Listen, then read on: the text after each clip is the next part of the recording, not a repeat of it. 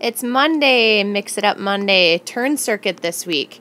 So the girls are doing releve walks across the floor, working on that posture. This is a great little side station to do.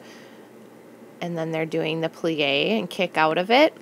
So really focusing on posture. That's the main thing with turning and half and full turns on floor and beam is working on that posture. It's a great drill.